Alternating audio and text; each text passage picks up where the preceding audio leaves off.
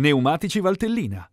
Anche il volontariato sempre di più messo in crisi dalla crisi. Con i tempi che corrono, ottimizzare risorse e disponibilità economiche può diventare un'impresa ardua e così anche strutture come l'Avops, il centro servizi per il volontariato nato e cresciuto a Sondrio grazie a un tessuto sociale e associativo ricco, operoso e instancabile, inevitabilmente optano per accorpamenti e fusioni, nel caso specifico con altre realtà lombarde gemelle come quelle di Lecco e Monza. Questa fusione permetterà ai vari operatori del, dei tre CSV di specializzarsi e quindi di acquisire delle competenze che prima mancavano, che prima mancavano e quindi di poter offrire dei servizi più puntuali e incisivi sulla base delle richieste che vengono fatte dalle nostre associazioni. Ma cosa cambia esattamente con questo accorpamento? Ci guadagneremo, assicurano i vertici di Lavops, sia in capacità di risposta sia in operatività. Innanzitutto serve um, una, um, dal punto di vista operativo